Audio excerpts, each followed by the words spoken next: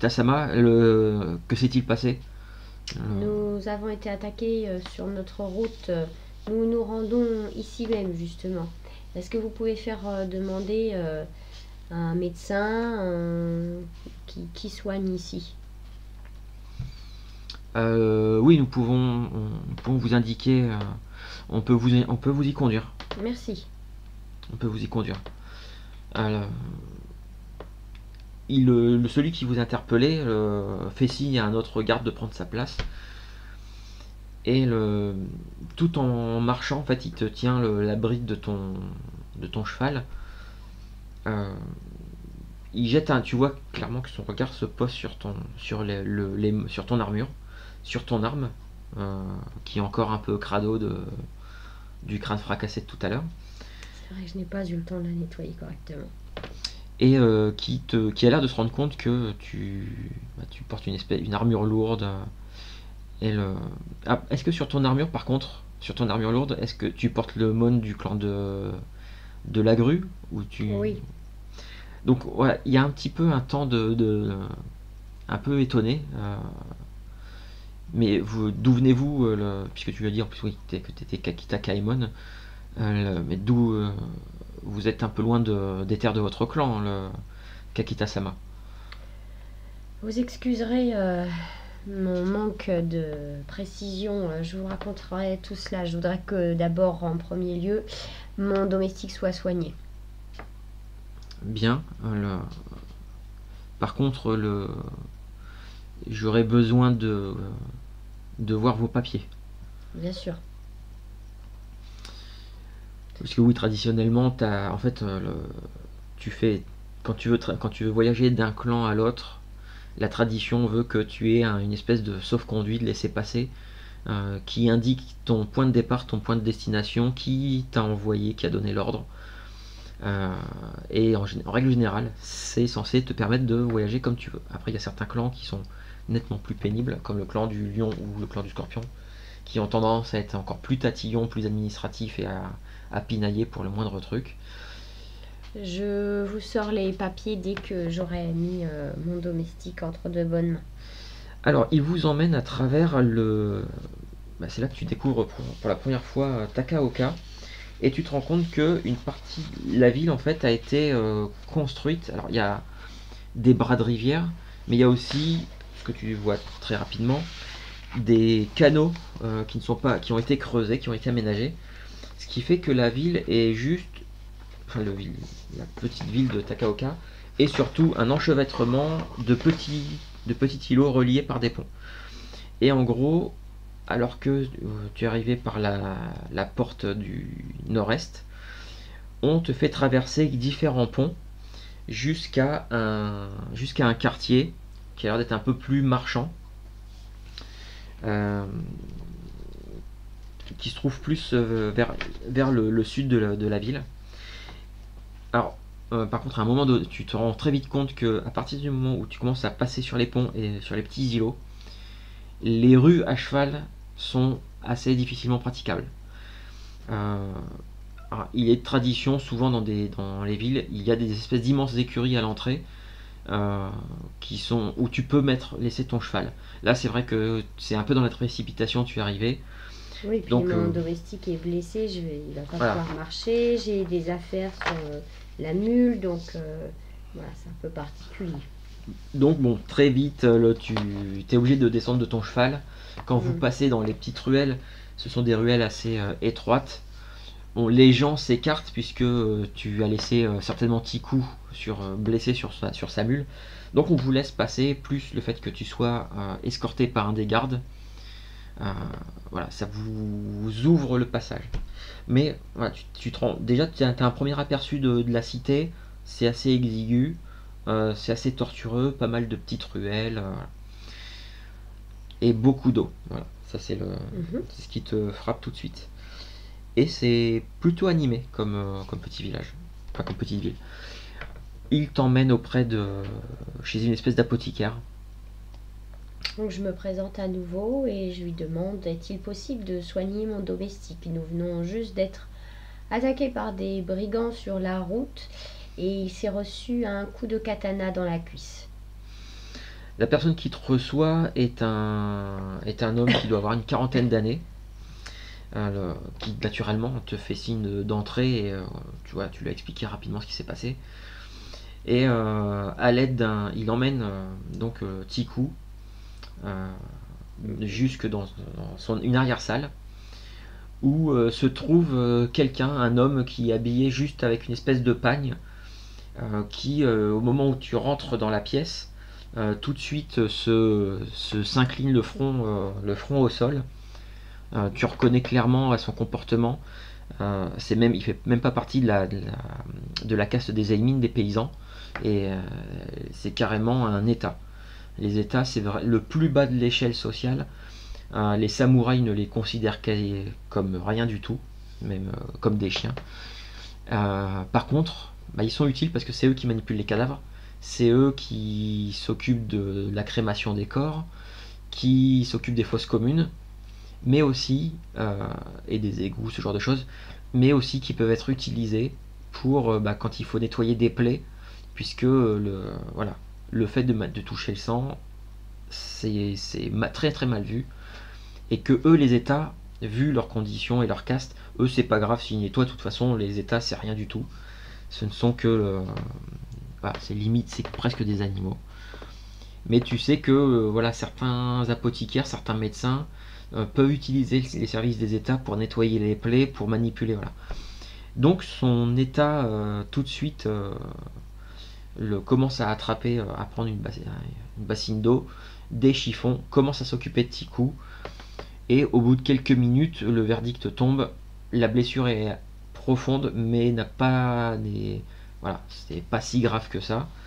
Euh, par contre, voilà, il va, il va être, euh, il va falloir quelques semaines pour que ça cicatrise.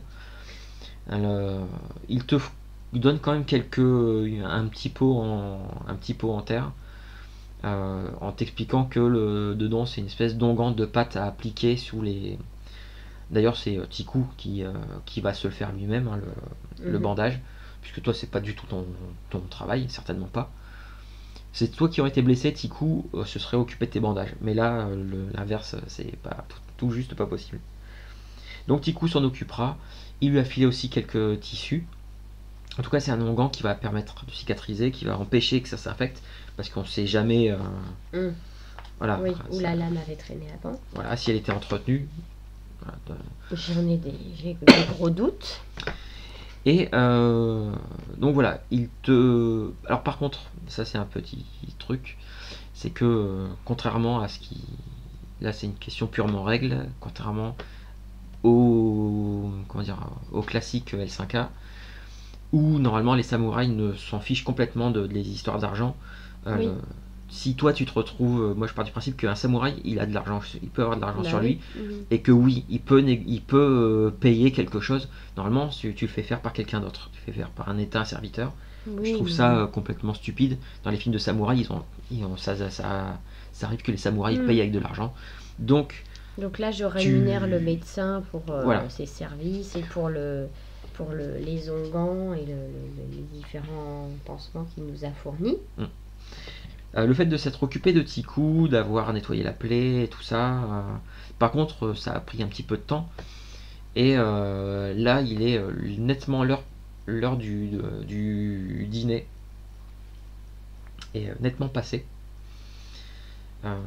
et au moment où vous sortez de, de, chez l'apothicaire. Alors, pardon de te couper, sûrement que pendant que le médecin s'est occupé des plaies, etc. Moi, je suis sortie et donc j'ai expliqué peut-être un peu la situation aux gardes qui nous a conduits, qui nous attendaient à l'extérieur du bâtiment.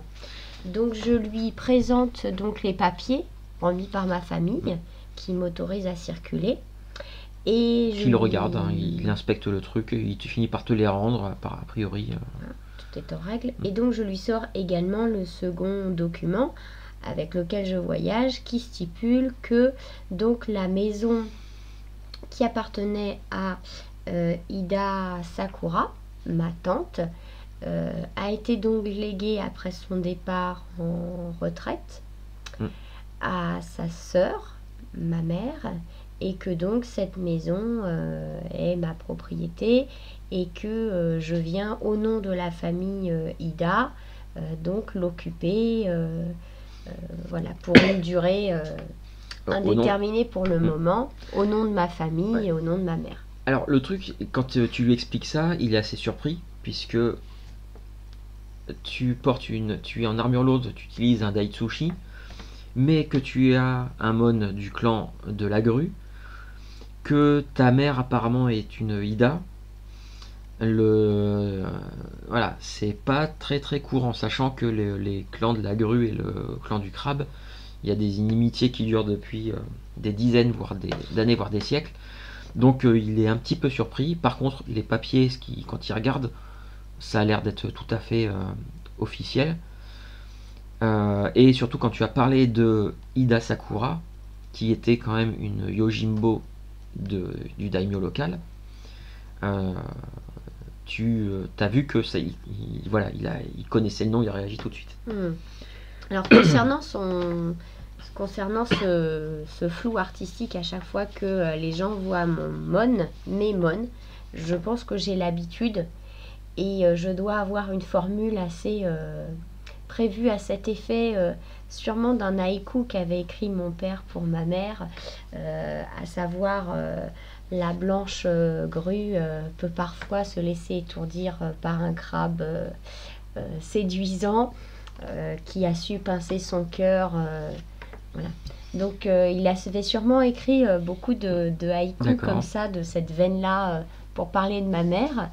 Et donc, voilà, quand je, je sens le, Le malaise chez les gens. le malaise exactement chez les gens qui aperçoivent ces deux mones antinomiques, bah, je, voilà, je, je déclame ce haïku qui souvent fait euh, plutôt rire les gens et les, les, les amuse et qui comprennent euh, voilà, cet amour un Ouais. peu improbable Après, il y en a qui a comprennent pas réuni à mes forcément. parents, qui a réuni mes parents, euh, ce- le duelliste grue et euh, la bouchie crabe. voilà. Et je leur dis que ça ne les a pas empêchés de, de se marier, de gérer un domaine et d'avoir trois enfants dans l'honneur de leur clan respectif. D'accord, très bien. Bon, bah, comme beaucoup de monde, euh, quand tu, tu lui parles, tu, tu lui parles rapidement de ça, il, il a un regard un petit peu, un peu étonné, mais euh, voilà, il, ne relève pas plus, hein, il ne veut pas être insultant non plus envers toi. Il n'a pas intérêt, oui. Alors, par contre, il te dit il faudra euh, peut-être. euh, alors, je sais où se trouve sa demeure. Mhm. euh, Mais Par contre, il, faut peut- il faudrait peut-être en parler et expliquer la situation au, au daimyo ou au moins à son hatamoto. hum, mais évidemment. Donc son hatamoto, c'est le chambellan, c'est lui qui aide, euh, c'est le bras droit du daimyo pour gérer le, pour gérer le domaine. Donc permettez-moi juste de, de voir avec le médecin ce qu'il en est de mon domestique. Je reviens à vous tout de suite. Si vous avez encore du temps, sinon indiquez-moi euh, où je peux rencontrer le daimyo. euh, sinon, euh, Je, je vous y conduirai, d'accord, très je bien. vous y conduirai et le, et le nous, voilà, je, Vous je m'introduirez auprès de lui. exactement. Donc je retourne voir le médecin qui donc euh, m'explique euh, que ce que nous disions tout à l'heure, que la blessure n'est pas euh, N'est pas grave, les pas onguents, grave, tout mais ça. prendra du temps. Et je demande au médecin s'il est possible euh, de laisser euh, Tiku euh, se reposer ici et dormir euh, cette nuit pendant que je m'occupe d'installer nos affaires dans notre maison et nos bêtes, etc. Est-ce que c'est possible? Bon, il n'y a pas de. Apparemment, il n'y a pas de, de malade. De maladalité. Donc, tu vois que dans son arrière-salle, il en fait, il y a l'équivalent. Il peut recevoir. Il peut recevoir peut-être 3 ou 4 personnes euh, Oui, et bon. s'en occuper. Là, visiblement, bon, il n'y a que Tiku. euh, ça, ça pose pas de soucis. D'accord. Donc je rassure Tiku quant à la situation, je m'enquière de son état, je lui souhaite une bonne nuit de récupération et je lui dis que dès demain matin, je passerai euh, le, le récupérer. Pardon, et que pendant ce temps-là, je fais installer nos affaires dans notre maison. Très bien. Euh, écoute, euh, le- il te dit quand même. euh, il te remercie. euh, le merci maître et le. Je suis désolé d'avoir, de ne pas avoir réussi à, à me défendre et à appliquer le, à, à appliquer ce que vous m'aviez, ce que vous, ce que vous avez tenté de m'enseigner. Ne t'inquiète pas, Tikou, il faut plusieurs années euh, de pratique avant de pouvoir euh, être efficace. Mais nous ne manquerons pas de temps pour euh, t'entraîner. Allez, repose-toi. Demain sera un autre jour. Très bien, bah écoute, tu le, tu le laisses et tu suis le, tu suis le garde qui t'a escorté jusque-là depuis tout à l'heure, qui t'emmène, qui te fait traverser, qui t'emmène jusqu'à un petit chapelet d'île. Euh, en gros, au centre de Takaoka, tu t'es, euh, tu t'es rendu compte que toutes les, il y a deux petits îlots, un assez, grand et un beaucoup plus petit, qui ont l'air de servir de vraiment de quartier résidentiel avec des maisons beaucoup plus, euh, belles, plus riches, beaucoup moins de maisons aussi, puisque d'autres quartiers, c'est très, exigu comme une île qui se trouve juste en face. Mais en tout cas, c'est apparemment ça a l'air d'être le quartier, on va dire le quartier samouraï, au centre de euh, Takaoka, D'accord. euh, qui jouxte une espèce d'immense parc avec un petit bosquet aussi. euh, Mhm. Et les- d'ailleurs, tu as pu voir qu'au niveau des, des canaux, euh, il y a aussi des, des petites des barques qui se. Et avec des. Tu as même pu apercevoir quelques personnes hein, qui se déplacent, qui vont en barque euh, Mhm. d'îlot en îlot. euh. Donc, ça a l'air d'être un moyen de transport aussi dans Takaoka, d'utiliser ces barques. Toujours Ouais. est-il que on t'emmène dans la plus grande, euh, la plus grande maison. Euh, plus grande résidence qui se trouve là, sur cet îlot-là. Euh, et quand on arrive à la porte, le garde demande une audience euh, auprès de euh, du Hatamoto qui s'appelle euh, Kayu Yabu. Donc il demande une audience auprès de, de Kayu Yabu Sama. En il, il dit pas grand chose en fait, il dit juste qu'il y a un que un samouraï un samouraï du, clan de la grue, Kakita Kaemon, euh, souhaiterait souhaiterait s'entretenir avec lui euh, quelques instants. Vous êtes introduit dans la résidence. Euh, tu ne vas pas bien loin, hein, alors que encore dans le, tu attends encore dans la cour puisqu'il il fait relativement bon en plus à ce moment-là de la journée. Le soleil est en train de descendre, donc euh, les températures sont de plus en plus. euh, autant dans la journée tu as eu assez chaud en armure, même si tu as l'habitude de la porter, autant là ça devient un peu plus. euh, Un peu plus doux, un peu plus... Oui. Euh, je suppose quand même que tout à l'heure, quand tu étais chez l'apothicaire, euh, t'as peut-être nettoyé ton marteau. Oui. Il y avait un, un baquet de, un baquet d'eau, t'as pu le, t'as trempé, il n'y a plus le sang, la cervelle qui aurait pu se rester collé dessus.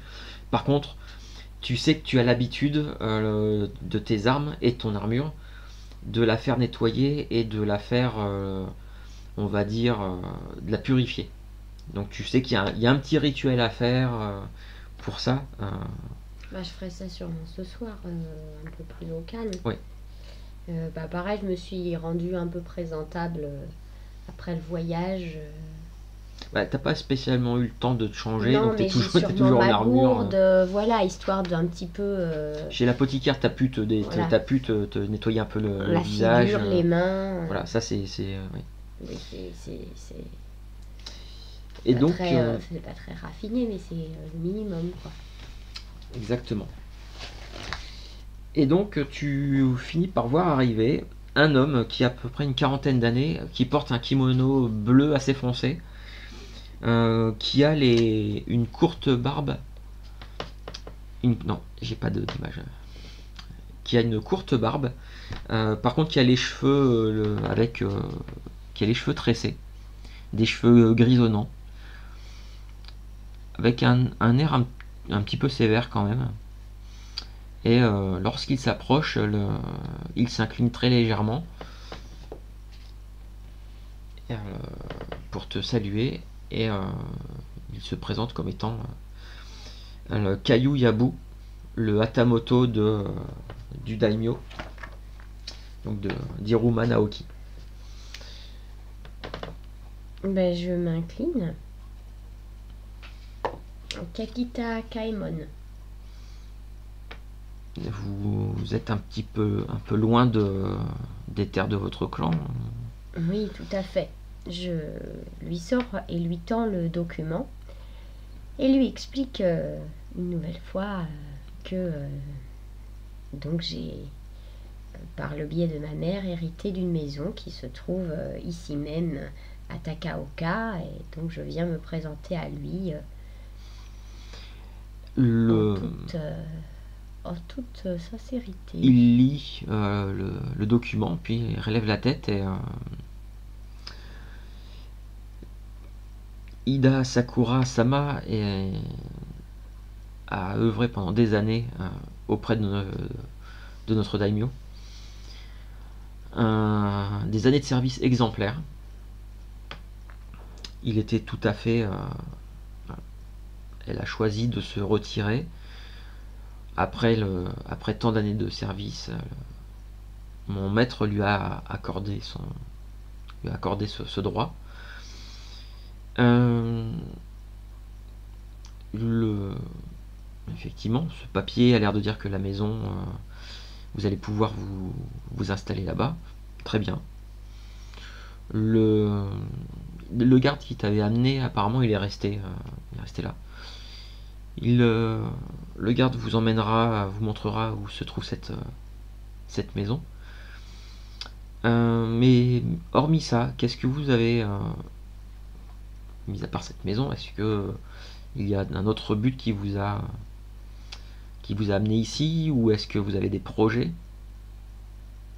pour euh, le futur proche? euh, au cas où vous étiez ici pour, euh, reprendre le, service de votre de votre tante, si j'ai bien compris.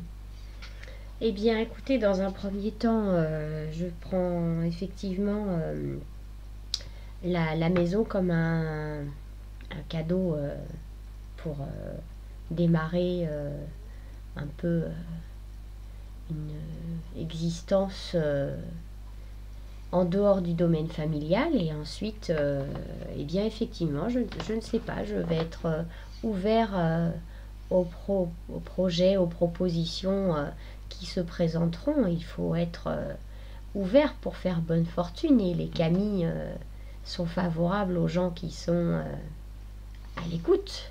Et si vous me dites euh, qu'il y a euh, du travail pour moi dans cette ville, eh bien, effectivement, je serais intéressée et ce sera un honneur pour moi de, de me tenir à votre disposition et de rendre service à cette communauté. Écoutez, nous allons, nous allons nous en rediscuterons. Je vais déjà annoncer tout ça à, mon maître. Nous aurons l'occasion d'en discuter. Euh, présentez, venez, euh, venez demain soir. Mmh. vous allez dîner avec moi demain soir. Nous, allons, nous aurons l'occasion de discuter un peu plus euh, tranquillement, puisque si j'ai bien compris, vous êtes arrivé euh, un peu précipitamment, vous avez été attaqué. Il dit, il dit ça en regardant le, garde qui euh, tout de suite se s'incline et euh, un genou à terre et le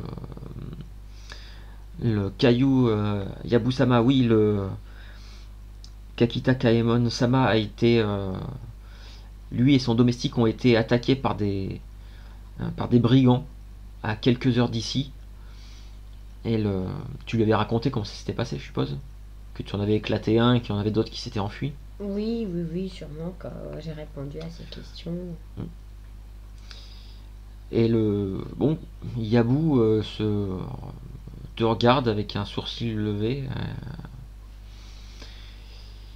Effectivement, vous avez l'air d'avoir euh, quelques capacités martiales. Nous en discuterons demain. Ce effectivement, nous pourrions peut-être avoir euh, besoin de quelqu'un. Mhm. Pour, alors, non pas pour prendre la place de faire le travail du magistrat et de Seyoriki à leur place, Mais euh, Et Nous. puis, s'il me sera possible éventuellement de rencontrer euh, le daimyo euh, dont ma tante disait toujours euh, grand bien, ce serait un honneur euh, aussi de pouvoir passer euh, quelques instants ou pourquoi pas euh, le temps d'un repas à ses côtés. nous en discuterons demain. Je vais lui faire part de votre euh, demande. Et le, je pense que demain j'aurai peut-être une réponse à vous donner pour savoir quand, s'il est possible de le rencontrer. Très bien. Le, il dit au garde, euh, montre-lui la maison de, de Ida Sakura Sama. Indique-lui aussi, montre-lui aussi euh, la mienne. Comme ça, il pourra. le- je sais que les, les gens qui ne sont, qui ne sont jamais venus à Takaoka peuvent se perdre assez facilement entre les petites ruelles, les canaux et autres. Comme ça, vous, voilà, vous pourrez, euh, vous saurez où j'habite. Très De toute façon, je n'habite pas, j'habite euh, ce quartier. D'accord. Très bien. Il te, Eh bien, merci de votre accueil. il te salue euh, légèrement. euh, aussi respectueusement. Et en sortant, euh, donc je demande au, au garde qui m'accompagne s'il y a euh, en ville une auberge, euh, un endroit Alors, où manger, euh, Il y a, faire des provisions. euh. oui, il y a plusieurs, il y a plusieurs établissements. euh, des provisions, c'est faisable aussi. Même si euh, à l'heure qu'il est, le- la plupart des échoppes Oui. sont fermées. Donc c'est pour ça que je pensais plutôt à Mais, une euh, auberge. Pour, euh, Il, va, il peut t'indiquer une, il peut t'indiquer une auberge. euh, D'accord. Je, je note et je visualise où est l'auberge. Et puis euh, bah, je le suis jusqu'à la maison. Alors il t'indique, bah, tout simplement en fait. Donc ici, tu avais le domaine du, du daimyo puisque tu as été reçu là-bas. Mhm. Même si c'est le Hatamoto qui sert de, de- Oui. qui gère toute l'administratif et le les Qui gens reçoit. qui, qui Mhm. reçoit. Le Hatamoto, euh, il habite dans ce coin-là, donc Mhm. vraiment juste à quelques pâtés de maison. Et la maison que toi tu vas récupérer, en fait, c'est celle-ci. C'est une. Tout en haut du, du quartier euh, de, de l'îlot résidentiel, de l'îlot des samouraïs, le quartier noble en fait. Juste avant le petit pont Juste à côté d'un petit pont. euh, au parc. euh, Voilà, exactement. À l'île sur laquelle se trouve le parc. D'accord, ça doit être très joli. C'est très joli, c'est juste la maison quand tu il t'a montré ça. D'ailleurs, le- tu voilà, tu peux y- tu peux y rentrer puisque c'est chez toi. Euh, en fait, c'est une c'est juste une mais c'est juste un comment dire un bâtiment et le reste c'est une espèce de, jardin euh, donc il y a un mur qui fait à peu près 2 m qui fait qui en fait le tour. Euh, bon, on- dès que tu arrives, tu te rends vite compte que oui, ça n'a pas été entretenu depuis un petit bout de temps, depuis quelques mois. D'accord, bah, je vais remercier le garde et je vais le laisser euh, voilà, reprendre ses occupations. J'ai suffisamment euh, abusé de son temps et de sa patience. Je vais quand même lui demander son nom parce que je l'ai trouvé euh, serviable et euh, très cohérent comme, comme garçon. D'accord. Bah, il te dit que il- lui, il s'appelle il s'appelle Caillou Jirobei. C'est le, il fait partie de la, c'est un des gardes de, de la cité. Eh Bien, je le remercie. Et puis donc, une fois que je vais être euh, tranquille, euh, je vais faire euh, effectivement le tour de la maison. Y a-t-il un endroit où laisser les chevaux? Alors, le, au niveau de, alors, des écuries, il y en a. Le- dans mais, la maison? mais pas du tout. Non, enfin, je veux dire des grandes écuries. Oui. à l'extérieur de, en bordure de Takaoka. Euh, dans le jardin, euh, oui, tu pourrais, tu pourrais éventuellement y laisser ton, y laisser ton cheval, même s'il n'y a Donc pas de. là, ce serait juste dans l'idée pour la nuit, parce que je suppose Ah oui, que oui, comme ça, tu c'est bon. disais que c'était pas très, Non, non, pour la nuit, c'est bon. pas Il a- très grand, euh, pas Ce que je très. veux dire, c'est qu'il n'y a pas de box pour le, il n'y a pas de box oui, j'entends, d'accord. mais Donc bah, je, je- je laisse les chevaux, je vais décharger euh, le, nos affaires. Mhm. Je n'ai pas l'aide de, de Tikou, mais c'est pas grave, je suis quand même à même de me débrouiller de tout ça. Euh, et puis euh, je vais faire un petit peu voilà le tour, les pièces, aérer, Oui, ça sent le renfermer, ça c'est clair. euh, voilà, faire un petit peu l'inventaire, voir si. voilà, si. Alors, et puis l'idée aussi, c'est assez vite de me rendre compte si avec un domestique ce sera suffisant ou est-ce que ça peut être. judicieux d'employer au moins au début, un second domestique qui pourrait comme ça aider Tiku à connaître euh, le, marché, euh, le fonctionnement d'ici. euh, voilà. Alors, bah, c'est clair et net que n'étant jamais venu ni l'un ni l'autre ici, Ouais, oui, ça risque blessé, d'être- donc bon. ça risque d'être compliqué. Donc, après, au niveau du, de- d'entretenir la maison, non, il pourrait s'en occuper, il pourrait largement s'en, enfin, non, il pourrait s'en occuper tout seul, même si, euh, voilà, il y aura quand même Mm. un, peu de, un peu de travail. Oui, prendre un, deux, un second domestique, Ah, euh, ça, va aller, euh, ça va alléger, ça, c'est, Voilà, en tout sûr cas, mon idée c'est au début, ne serait-ce que pour faire les emplettes du début, euh, savoir ce dont on aura besoin, connaître un petit peu les bonnes adresses, les, le fonctionnement, les canaux, voir si c'est... Alors, est-ce qu'il y a une barque? Peut-être qu'elle avait une barque. Non. Ma tante Non. Non, non, ça, tu, ça, Voilà. parce qu'en fait, le, les quais qui longent le, qui sont au bord du canal, en fait, font vraiment le tour. Ta maison, ta maison avec le jardin et tout ça, c'est vraiment le.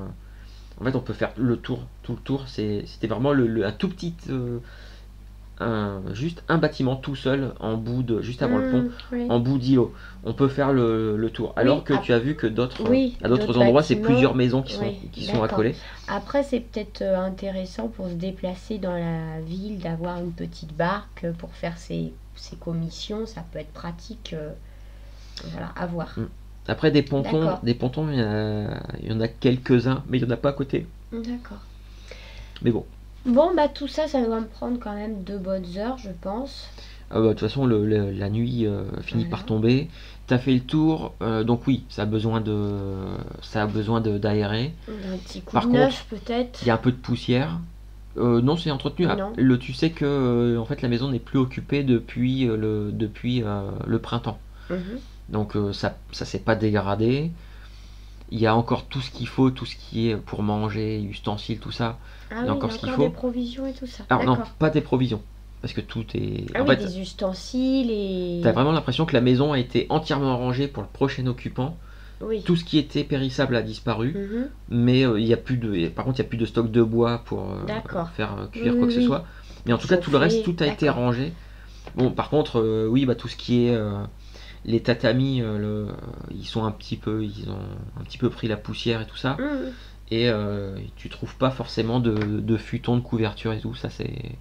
Ça, par contre. euh, Bah écoute, j'installe ce qu'il faut pour euh, Tiku pour demain, pour moi pour dormir. Je voilà, je, je mets les chevaux en sécurité, je leur donne ce qu'il faut à manger pour ce soir. Et puis après, je vais aller en ville euh, manger à l'auberge. D'accord, très bien.